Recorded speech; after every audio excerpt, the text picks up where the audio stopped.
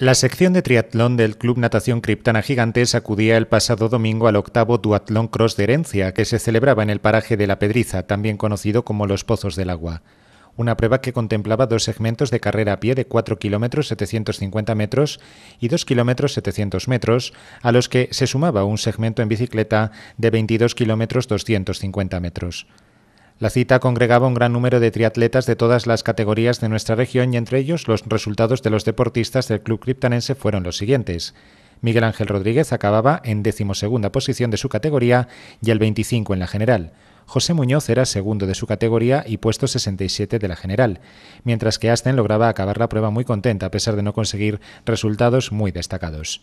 Enhorabuena a todos.